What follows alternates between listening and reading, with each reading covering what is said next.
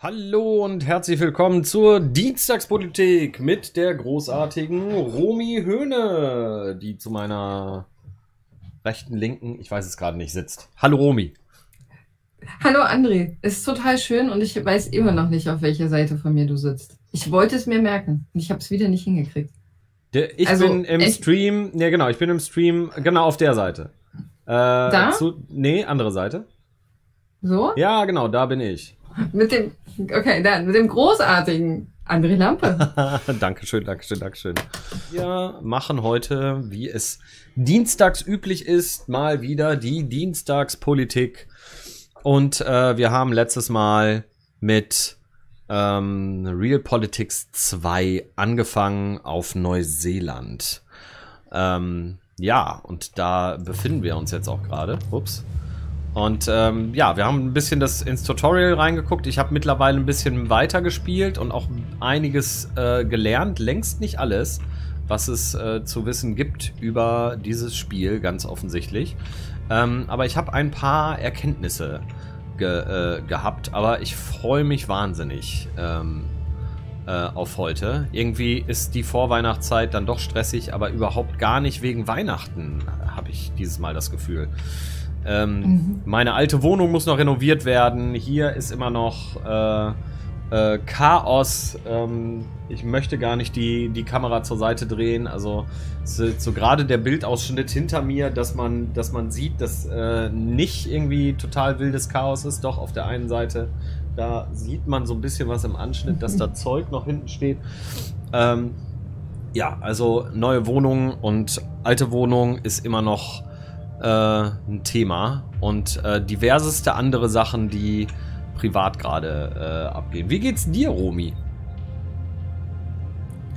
Total gut. Ich hatte gestern meine letzte Veranstaltung für dieses Jahr. Ich hatte gestern Mhm. noch so einen, so einen kleinen Workshop. Mhm. Und der ist sehr gut gelaufen und ich freue mich gerade, dass ich so langsam anfangen kann, auf meinem Schreibtisch alles zusammenzupacken. Und ähm, die Kiste für den Schredder wird immer größer und ich freue mich. So nach und nach kann Weihnachten werden. Und Mhm. bei mir zu Hause ist ja, ist ja schon vor ein paar Wochen das Erzgebirge ausgebrochen. Und es wird jetzt gerade nur noch mehr. Nur einen Weihnachtsbaum will ich nicht ins Dachgeschoss schleppen. Ach so, die, we- wegen dem, wegen dem äh, Weihnachtsschmuck meinst du? Das Erzgebirge ausgebrochen. Genau. Ist äh, gerade für mich, als du sagtest, das Erzgebirge ausgebrochen, da, da musste ich direkt an Corona-Zahlen denken. Äh, es tut mir leid. Ja, Aber- das ist auch einer der Gründe, warum wir dieses Jahr zu Hause bleiben. Also ist der Grund, warum wir dieses Jahr zu Hause bleiben und äh, meine Eltern nicht besuchen. Hm. Okay, ja, ich, ich werde auch äh, hier in, ähm, in Brandenburg bleiben und ähm, meine Eltern nicht besuchen. Also wir werden hier schön für uns alleine Weihnachten feiern und äh, vernünftig mit dem Arsch zu Hause bleiben. Aber ich brauche auch di diese Zeit. Und mal abgesehen davon, direkt nach Weihnachten ist Kongress, wo ich äh, wahrscheinlich auch wieder die ein oder andere Geschichte moderieren werde. Also den Chaos Communication Congress, die Chaos Remote Experience heißt es dieses Jahr. Da werde ich wohl Super das, gespannt. Äh, das ein oder andere ähm, moderieren als Herald, also quasi Talk und dann nachher die QA. Äh, das muss in dieses Jahr natürlich ein bisschen anders gemacht werden. Also da werde ich ähm, was machen. Aber natürlich werden wir auch nächste Woche wieder streamen. Also ähm, den Dienstag nach Weihnachten gibt es hier wieder Dienstagspolitik. Hatten wir ausgemacht, ne? Genau, wir ziehen durch. Ja, ja finde ich auch super. Ich freue mich drauf. Genau, Ja. und äh, nächste Woche gibt es auch eine kleine Neuerung in der Ja, Dienstagspolitik. Und ähm, ich hatte es schon vor Monaten versprochen und jetzt machen wir es wirklich. Und äh, auch ich werde Kanalpunkte ermöglichen. Das heißt, äh, wir machen eine, eine Minute Politik ringsum über Neuseeland. ja. in Aber der erst, letzten Woche. Hm? aber erst ab nächste Woche, ne? Ja, erst ab nächster Woche. Ja. Du hättest es heute schon gern gehabt. Na, d- n- n- äh, natürlich. Ich bin, ich bin total gespannt, was du alles so zu erzählen hast. Und äh, ähm, nee, aber ich habe dich unterbrochen. Entschuldige bitte. Erzähl weiter. Ich geh mal hier. Ja, weil es ganz, ganz spannend ist. In der, Letz-, in der vergangenen Woche haben wir uns, als wir so ein bisschen getestet haben mit dem Spiel, haben wir irgendwann angefangen, uns über diesen Demokratieindex zu unterhalten und ähm, diese Klassifizierung von vollständigen Demokratien und Autokratien. Mhm. Und Neuseeland hat, ist, glaube ich, irgendwo unter den Top 10 in ähm, der, der Staaten der Welt, was diesen Demokratieindex betrifft. Und ist ein super spannendes politisches System. Es ist ein sehr schönes Beispiel, wie Demokratien sich über die, über die Jahrzehnte entwickeln können und weiterentwickeln können. Und ja, da habe ich gedacht, da fangen wir mal an mit einer kleinen Politikminute zu Neuseeland. Und ich ja. wollte aber heute noch nicht damit anfangen, weil ich eigentlich das Spiel gern noch ein bisschen besser begreifen möchte. Und da ja. freue ich mich tierisch, dass du schon mal reingespielt hast, weil ich den Eindruck habe, ich habe noch nicht so richtig das Gefühl dafür. Auch so, mhm. ein, so ein paar Dinge, wo ich so im Nachhinein letzte Woche überlegt habe, naja, wenn beispielsweise die Erfolgsaussichten für irgendein Abkommen oder irgendwas, wenn das nur bei 65 Prozent liegt, sollten, sollten wir das dennoch machen oder sollten wir es nicht machen, weil wenn es nicht klappt, werden uns Punkte abgezogen und so. Hm. Und über solche da Sachen habe ich irgendwie noch nachgedacht in dieser Woche und bin total gespannt, was du noch uns berichten kannst über das Spiel und wie es funktioniert. Äh, ja, also ich habe so ein bisschen festgestellt, nachdem ich so äh, reingespielt habe in einem anderen äh, Spielstand, wenn ich jetzt hier auf Australien klicke, ähm, dann können wir halt diese verschiedenen Aktionen machen äh, positive Aktionen. Und wenn ich auf Beziehungen verbessern gehe, das können wir gerade nicht, weil wir, das haben wir gerade äh, irgendwie gemacht. Nehmen wir mal ein Land, was wir wahrscheinlich noch nicht hatten. Ähm, das hier ist... Ähm, was ist denn das? Äh, Taipei. Taipei? Taiwan. Okay. Ähm, Taiwan. Oh ja, Taiwan. Entschuldigung. Ja genau, Taipei ist die Hauptstadt. Ähm, wenn ich hier jetzt auf Beziehungen verbessern gehe. Ähm, hier. Ähm, Beziehungen verbessern äh, halten für ein Jahr an. Länger nicht. Okay. Das heißt, das ist, das ist so eine Sache, die eher kurzfristig ist. Es ist zwar günstig, aber wir machen damit nicht, also wir, wir sollten das nicht äh, spammen, also äh, irgendwie äh, über die Maßen benutzen, sondern tatsächlich nur als ein Mittel, um bestimmte Dinge zu erreichen. Mhm. Also das ist halt so, wir haben das jetzt überall gemacht und bei vielen war es erfolgreich, aber dann haben wir gute Verhältnisse für ein Jahr aber das ist dann quasi so, wir sollten ein bisschen besser planen, wenn wir die äh, verbe äh, Sachen verbessern, hier, ne, Beziehungen verbessern, das hat da jetzt dann nicht geklappt, oder Wohlwollen mhm. erlangen und sowas, diese Sachen sind alle temporär. Wenn wir kooperative Aktionen angucken und dann Kooperationsabkommen anbieten, hier, äh, Beziehungen Neuseeland, Papua Neuguinea, 730 Tage. Also das läuft dann schon über irgendwie, ja, zwei Jahre irgendwie. Also das ist dann schon eine langfristigere Geschichte. Mhm. Und deswegen ist es auch teurer. Ja, es erschließt sich ja auch ganz logisch. Ja. Also das eine ist ja äh, quasi nur so ein Austausch von Nettigkeiten. Und das andere ist ein klares Übereinkommen, in welchen Bereichen man zusammenarbeiten will und was die Konditionen dafür sind. Deswegen ist es wahrscheinlich teurer, aber es hält dann auch länger an, weil man macht sich die Mühe ja nicht nur für ein Jahr. Genau. Das heißt also, dieses, äh, wir machen mal hier gute Beziehungen, da gute Beziehungen, was ich am Anfang irgendwie so gemacht habe, das ist gar nicht so zielführend. Ähm, sondern wenn wir das machen, dann sollten wir mit denen auch Verträge schließen. Und ich glaube, da sollte mhm. man reingucken. Und was ich festgestellt habe, ist halt diese Aktionspunkte, die wir hier haben. Ähm, wir generieren ähm, äh, Aktionspunkte, monatliche Aktionspunkteinnahmen 385. Das ist halt nicht wahnsinnig viel. Ähm, und da müssen wir halt echt mal so drauf gucken, äh, dass wir da mehr bekommen. Das kann durch einen Spion funktionieren. Äh, aber auch durch verschiedene Boni, die wir bekommen, indem wir Projekte abschließen. Okay. Und ähm, ja, also quasi daran sollten wir forschen. Unser ähm, Index menschlicher Entwicklung ist super. Wir haben Ressourcen alle irgendwie im Plus. Geld sieht auch gut aus, was wir da, was wir da haben. Punkteeinkommen ist auch okay, würde ich jetzt mal sagen. Auf uns werden auf jeden Fall die ersten zufälligen Aktionen zukommen. Wir können jetzt halt überlegen, ob wir versuchen, 4000 Aktionspunkte anzusparen um äh, einen Spion zu beauftragen, weil ein Spion kann bei anderen Ländern Spionage betreiben und dann auch uns Aktionspunkte verschaffen, beispielsweise. damit wir besser mhm. handeln können tatsächlich. Also und diese Mechanik erschließt sich mir auch total. Aber so 100% durchdrungen habe ich es noch nicht. Auf jeden Fall sind wir, was die Aktionspunkte angeht, echt mies stehen wir da. Und ähm, wenn wir jetzt mal auf die Projekte gucken, wir haben im Moment zwei Sachen laufen. Ach so, genau, die, äh, das wird, genau, wir haben zwei Sachen laufen, die, die, die laufen jetzt ja noch.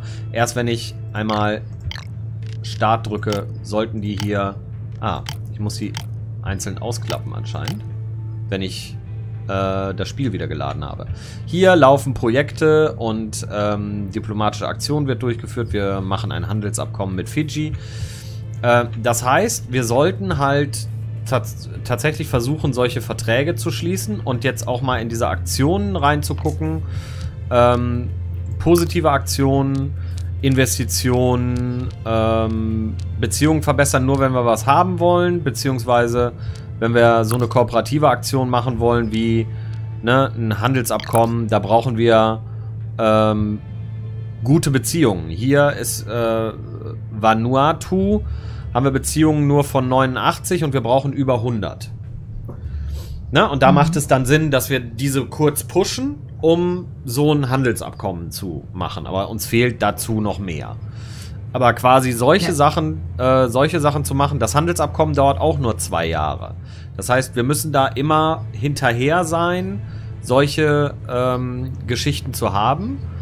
Und diese Handelsabkommen helfen uns halt auch bei der wirtschaftlichen äh, Geschichte. Die werden hier mit aufgeführt. Wo, wo ist es denn?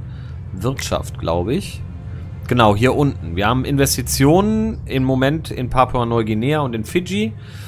Und die generieren also wir pushen deren BIP, aber wir äh, kriegen davon halt noch äh, auch Einnahmen. Aber erst, wenn wir dann auch äh, das Ausbeuten Handelsabkommen machen.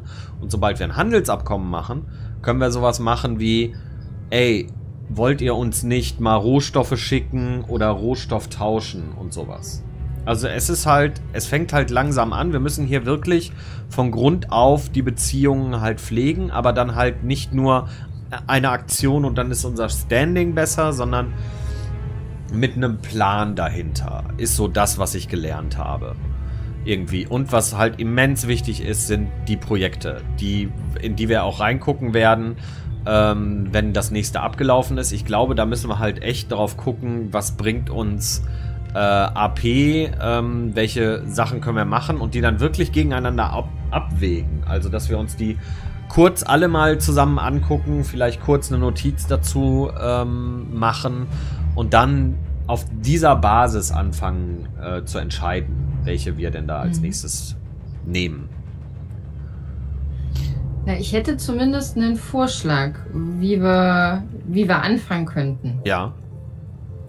Achso, eine Sache äh, habe ich noch. Mhm. Ähm, ich würde äh, bei den ähm, bei den äh, Rekrutierungen, die würde ich jetzt äh, beenden. Also die Armeeproduktion. Mhm. Ja. Weil dafür haben wir, haben wir sehr viel ausgegeben. Jetzt haben wir schon wieder ein paar Aktionspunkte mehr. Und wir brauchen jetzt erstmal diese Armeen jetzt nicht so dringend. Also die, die wir, äh, äh, die, die wir jetzt produziert haben, haben wir jetzt halt. Aber diese Ressourcen, also das ist halt nett zur Verteidigung und das sorgt auch für ähm, für, für Arbeitsplätze. Also wenn wir dann, wenn wir dann mal hier auf die Wirtschaft gucken, ähm, nee, das ist, äh, nee, Bevölkerung und Bevölkerungswachstum ist es nicht. Ich glaube, hier, Bevölkerung, Arbeitslosenquote sind wir bei 5,03 Prozent. Äh, und Ober äh, Arbeitslosigkeitswachstum ist 0,08. Hm. Das heißt, Eventuell wäre das nächste Projekt fokussiert auf AP oder Senken der Arbeitslosigkeit. Wäre so mein, ja. wäre so mein, äh, wäre so mein Ansatz. Mhm. Ähm, und im, äh, äh, es steht die Frage im Raum, ob wir eventuell 4000 äh, AP aufsparen, um einen Spion zu haben, weil der kann nicht nur, wie wir es im äh, Tutorial gelernt haben, halt Ansprüche fingieren, dass wir was übernehmen können, sondern ein äh, Spion kann halt auch ähm, Spionage am Land äh, betreiben oder Investitionsmöglichkeiten aufzeigen oder Firmen aus anderen Ländern eine feindliche Übernahme fingieren und so eine Scherze, also auch Wirtschaftsspionage und all so Mhm. eine Geschichten machen oder halt auch, ob jemand aggressiv auf uns ist. Aber vor allem kann er auch andere äh, Regierungen ausspionieren und das bringt uns Aktionspunkte. Also, Ja, also ich meine, die, äh, das Grundgeschäft der Spionage ist ja, dass man weiß, was in anderen Staaten so passiert, um sich selbst einen Wettbewerbsvorteil zu geben oder sich besser zu schützen. genau. Je nachdem, wie man da auf die, wie man da drauf guckt. Das, also wir können das machen. Für mich wäre jetzt der, der Spion nicht unbedingt so die, Hm? das erste Ziel. Ich würde dir mal vor, ähm, vorschlagen, was ich mir gerade überlegt habe oder dir erzählen. Erzähl. Und äh, vielleicht kommen, äh, bekommen wir den Spion noch in der EU unter. Mal gucken. Also, ich habe hab drüber nachgedacht und was Neuseeland so anbietet und wer so mit Neuseeland Handel treibt und wer so relativ eng mit Neuseeland verbündet und verbunden ist. Da wäre ja als allererstes natürlich Großbritannien ja. Als, äh, als Handelspartner durchaus relevant. Also ich meine, gleiches Staatsoberhaupt und so. Und wo wir Ja. gerade bei gleichen Staatsoberhäuptern sind, könnte man ähm, das mit Australien noch machen und mit Kanada. Und weil es so ein riesengroßer Absatzmarkt ist, könnte man das dann auch noch mit den, E- äh, mit den USA machen. Das wäre dann Mhm. quasi die klassischen Five Eye ähm, Staaten miteinander verbunden, mit denen Handelsabkommen zu machen. Stimmt, zu den Five Eyes Event- gehört Neuseeland, oder? Ja, ja, gehören sie. Ähm, dann an die EU ranzugehen und möglicherweise in der EU diesen äh, Spion reinzusetzen, weil die EU ja relativ groß ist und ähm, es mehrere Einzelstaaten gibt und ich gerade noch nicht weiß, wie eigentlich in dem Spiel Handelsabkommen geschlossen werden. Ob das hier wie im echten Leben mit der Europäischen Union ist oder ob hier das mit Einzelstaaten gemacht werden Ist immer mit Einzelstaaten. aber wir können auch Handelsabkommen schließen mit Blocks. Und da sind wir ähm, jetzt ja, auch der, ja dran, dass wir Blocks bilden sollten. Ri- Richtig, also das, das wäre nochmal so eine, so eine weitere Variante. Mir geht's bei der EU darum, dass, da das ja ein einheitlicher Wirtschaftsraum ist, dürfen Handelsabkommen immer nur mit der Europäischen Union in der Gesamtheit äh, geschlossen werden. Und dass es hier in dem Spiel anders ist, sollten wir zumindest wissen oder immer mal wieder erwähnen. Ja, ist, es ist in diesem Spiel tatsächlich anders. Ähm, ich weiß aber nicht, was passiert im Laufe des Spiels. Es kann ja auch sein, dass sich ein oder zwei Blöcke in, äh, in, der, in Europa formen, die dann dafür sorgen, äh, dass du sowas ähnliches hast wie eine EU. Aber erstmal sind die ganzen Staaten am Anfang im 2021 unabhängig voneinander und bilden dann jetzt erst Mhm. Blöcke. Und das wäre halt auch etwas, an dem wir arbeiten sollten. Also, dass wir tatsächlich irgendwie sowas machen wie ähm, mit Australien, mit dem wir jetzt gute Beziehungen haben oder so, möglichst bald einen Block zu bilden. Mhm. Weil mit Ländern, mit denen wir in Blöcken sind, da haben wir dann noch ganz andere Investitionsmöglichkeiten und kriegen auch neue Projekte, wo man dann so Sachen machen kann wie äh, um Infrastrukturhilfen bitten, beispielsweise. Mhm. Oder äh, also, dass man sich gegenseitig fördert und es dann so ein Geben und Nebendynamik. Also, das ist ganz, äh, ähm, ganz interessiert. Wollt ihr nicht das neue pazifische Bündnis nachbauen? Was ist das neue pazifische Bündnis? Es ist äh, ein pazifischer, also äh, paar, ich weiß gar nicht, ist noch gar nicht so lange her, drei Wochen, vier Wochen, keine Ahnung, wurde ein äh, großes Wirtschaftsfreihandelsabkommen geschlossen zwischen den Staaten des Pazifikraums. Allerdings weiß ich jetzt gerade nicht, wie viel das noch wert ist, wenn Australien gerade China vor der WTO verklagt und äh, wir jetzt australischen Wein konsumieren müssen, äh, um die Demokratie in Australien zu stärken. Also ja, es gibt dieses, es gibt dieses äh, Bündnis, aber ich weiß, mal gucken, wie jetzt die WTO entscheidet, dann sehen wir, was es tatsächlich wert ist. Okay. Da würde ich mich noch zurückhalten. Also wir haben einige Sachen laufen. Ähm, meine Erfahrung aus dem, wo ich es nochmal wirklich angespielt habe, ist tatsächlich, dass man möglichst bald quasi diese Aktion, Blockaktionen zum Block hinzufügen, durchführen sollte und nicht darauf warten, dass die Chance höher wird. Also ich kann ja Mhm. mal draufklicken. Wir könnten es hier machen und wir könnten auch Wohlwollenspunkte investieren, um das auf 80 zu pushen, weil das hat, ähm, genau, das ist auch noch eine Erkenntnis, die ich, die ich habe. Ich mach's mal gerade wieder zu. Eine Erkenntnis, die ich hatte. Wenn ich jetzt hier auf ähm, positive Aktionen klicke. Wohlwollen erlangen ist etwas, was wir nicht die ganze Zeit machen können, sondern Wohlwollen erlangen hat einen Cooldown für jedes Land. Aber wenn wir, äh, und das ist nirgendwo, ich habe das nirgendwo gefunden, wo das einem angezeigt wird, aber wenn wir dreimal Wohlwollen erlangt haben, dann können wir das auch ein halbes Jahr generell nicht machen. Okay.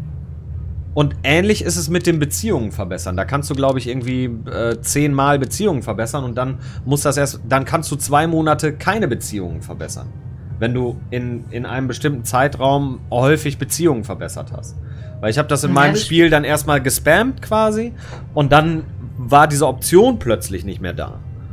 Das heißt, Das Spiel zwingt einen quasi, oh, Entschuldigung, hab ich unterbrochen. Nee, nee, du hast recht, genau. Es zwingt einen dazu, diese Mittel, die wir haben, auch wenn das so diese günstigen und einfach zu erlangenden sind, bewusst einzusetzen und nicht einfach nur erstmal quasi einzusammeln, von jedem Land erstmal Wohlwollen erlangen, damit man es hat, wenn man gerade Mhm. nichts weiß sonst, sondern man sollte einen Plan haben und darauf dann aufbauen. Also es macht halt auch schon total Sinn. Äh, es wird einem nicht so richtig äh, ähm, äh, signalisiert, wie diese Mechanik funktioniert, aber das ist eine Erkenntnis, die ich hatte. Ich finde, also ich finde das auch schon wieder total nachvollziehbar und logisch. Das Spiel zwingt einen strategisch zu spielen. Das kann man nicht.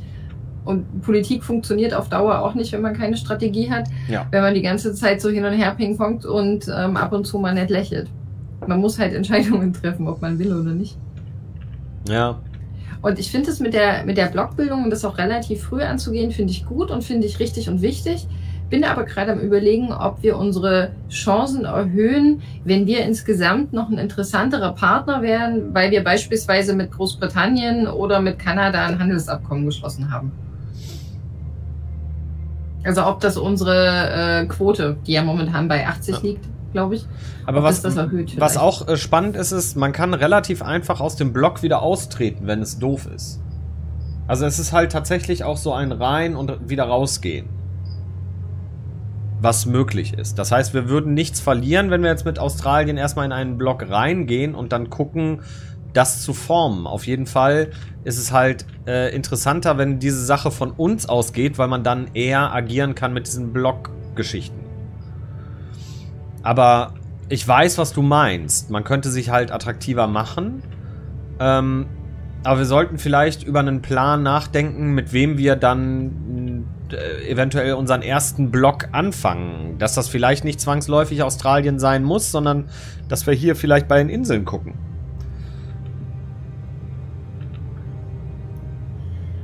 Ja gut, die Inseln sind äh, nice to have.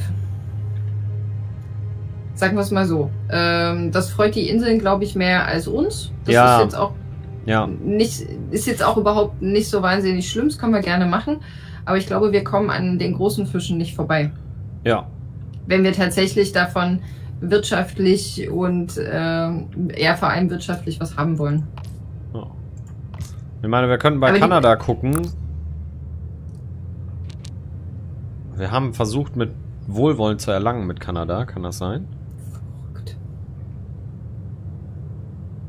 Ja, aber das ist halt auch so, genau. Nee, wir haben das gar nicht probiert, aber hier sehen wir schon, wir haben ein paar Mal Wohlwollen versucht zu erlangen und jetzt ist der Wohlwollen erlangen, egal mit welchem Land wir das machen. Mit den USA haben wir noch gar nichts gemacht, da ist Wohlwollen erlangen auch. Hm. Müssen wir noch 100 Tage warten, bis wir das nächste Mal Wohlwollen erlangen machen können. Ich glaube, es gab mittlerweile ein Update. Das Spiel ist ja auch noch in der Beta-Phase.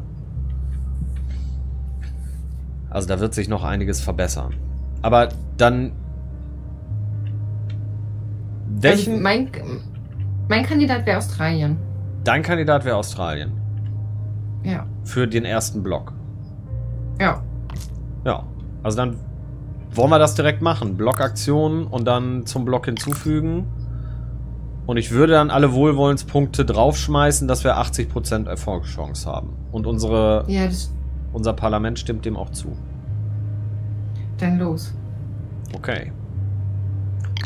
Bestätigen. Und das hier läuft dann, Tage verbleiben, 30 Tage dauern die Verhandlungen dafür. Und dann würde ich jetzt einfach mal tatsächlich die Zeit laufen lassen. Besiedlungsaktion. Suche nach natürlichen Rohstoffen wurde erfolgreich in Provinz Campbell Plateau umgesetzt. Wo ist das Campbell Plateau? Hier. Bounty Though. Suche nach natürlichen Rohstoffen wurde erfolgreich umgesetzt. Und Tasmanisches Becken. Ja. Diese Sachen haben wir gemacht. Was können wir da jetzt tun? Besiedlungsaktionen.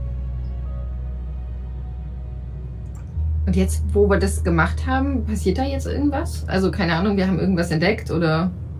Ich glaube, wir müssen... Ähm, was haben wir hier oben? Leere Generalsplätze. Besiedlungsprojekt verfügbar. So, Landesbesiedlung können wir nichts einleiten, aber Wasserbesiedlung, weil wir zu wenig Aktionspunkte haben. Ne, Aktionspunkte können wir nicht zu wenig haben. Das ist noch nicht freigeschaltet. Wasserbesiedlung müssen wir... Ah.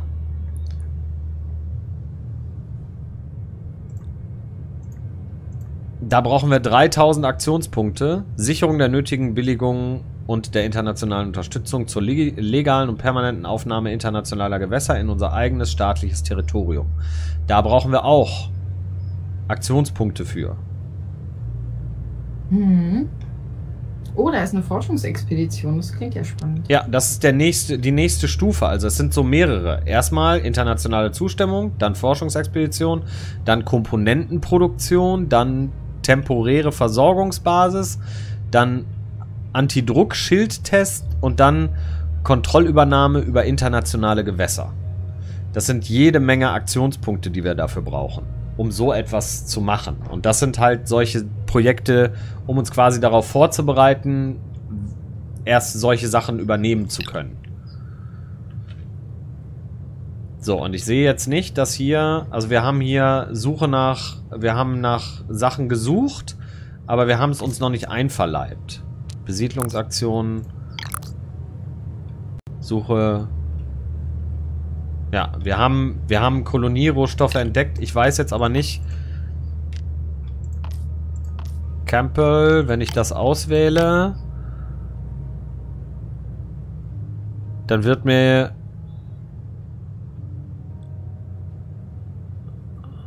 Wird mir hier nichts angezeigt, oder? Wenn ich darauf gehe...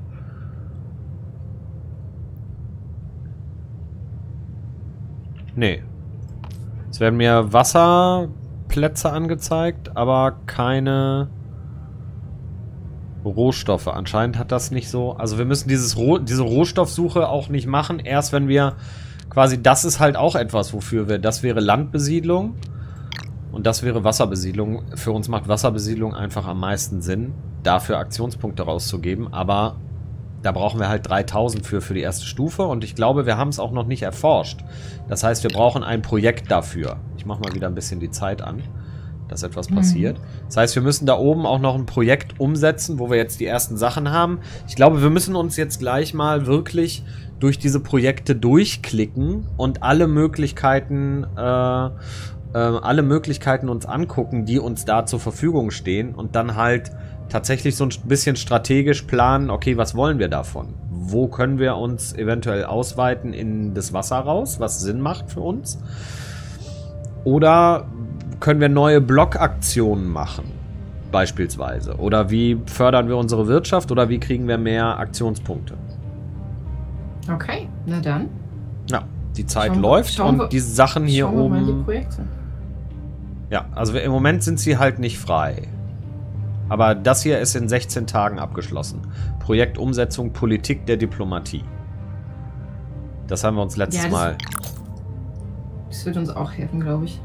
So, diplomatische Aktion zum Block hinzufügen wurde erfolgreich in Australien umgesetzt. So, jetzt mache ich nochmal Pause. Und jetzt sind wir halt ein Block mit Australien. Und hier können wir jetzt Blockaktionen durchführen. Und da haben wir jede Menge. Ist einiges auch noch nicht übersetzt, wie man hier sieht. Aus Block entfernen können wir machen. Wir können Australien finanziell unterstützen. Wir können infrastrukturelle Unterstützung geben. Wir können politische Integration machen. Da weiß ich nicht genau, was das sein soll. Ähm. Hm. Ah, Australien, dasselbe politische System wie Neuseeland? Nein.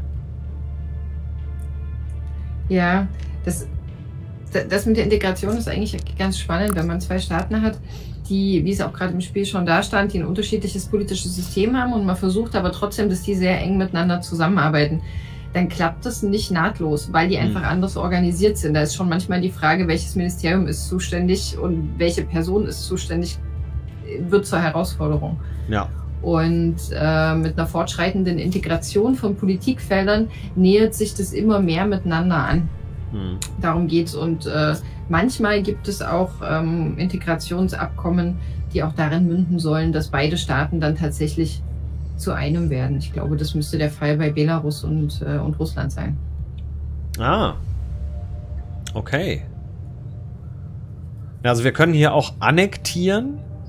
Da klicke ich auch mal drauf. Also das geht nicht, weil ähm, wir müssen erst wirtschaftliche, militärische, äh, wissenschaftliche und soziale Integration.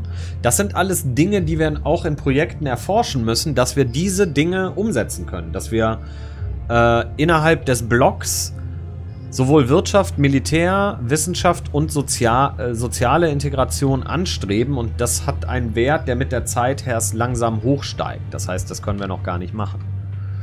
Also das ist halt auch es ist ein Ausblick darauf, wie man hier planen muss. Und dann kann man, wir können fragen, ob die uns Geld geben und sie können, äh, wir können fragen, ob sie unser, äh, unsere Regierung unterstützen und ob wir äh, Ressourcen von ihnen bekommen können.